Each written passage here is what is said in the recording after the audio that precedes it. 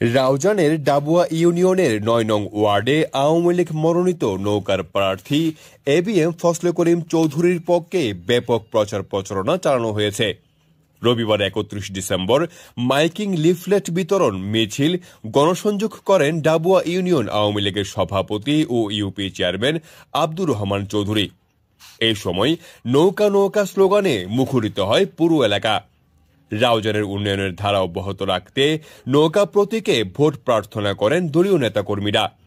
দক্ষিণ হিঙ্গলা, কলমপতি এলাকায় চালানো প্রচারণায় উপস্থিত ছিলেন ডাবুয়া ইউনিয়ন আওয়ামী লীগের কার্যকরী সদস্য আবু মনসুর চৌধুরী, যুগ্ম সাধারণ সম্পাদক এস এম মহিবুল্লাহ, বন ও পরিবেশ বিষয়ক সম্পাদক সাইদুর রহমান চৌধুরী টিপু, যুগ্ম সাধারণ সম্পাদক ইউসুফ আমিন, সাংগঠনিক সম্পাদক হুমায়ুন কবির চৌধুরী, দপ্তর সম্পাদক ও ইউপি সদস্য আজাদ হোসেন, ডাবুয়া ইউনিয়ন যুবলীগের সহ সভাপতি আবুল হোসেন টিপু, সাধারণ সম্পাদক ও ইউপি সদস্য মোহাম্মদ আসাদ, ইউপি সদস্য মিঠু শীল জসিম উদ্দিন নয় নং ওয়ার্ড, আওয়ামী লীগের সভাপতি আবু জাফর, সাধারণ সম্পাদক সুধীর দে, বাবু সেন, মোহাম্মদ আলী, যুবলীগের প্রচার সম্পাদক মোহাম্মদ নবী, যুবলীগ নেতা আজাদ আলম চৌধুরী হাসান চৌধুরী, সাব্বির আহমেদ, মোহাম্মদ খোরশেদ, ডাবুয়া ইউনিয়ন ছাত্রলীগের সভাপতি সাজাদ মাহমুদ, সাংগঠনিক সম্পাদক মোহাম্মদ লোকমান, ছাত্রলীগ নেতা মোহাম্মদ মোর্শেদ, মোহাম্মদ ফারুক, তীর্থধর মোহাম্মদ মিরাজ,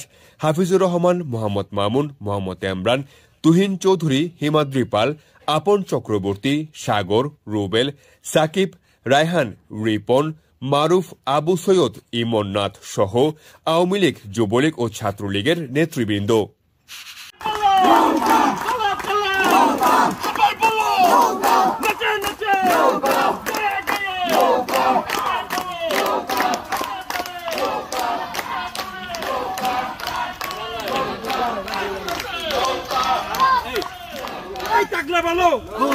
সেই মার্কা।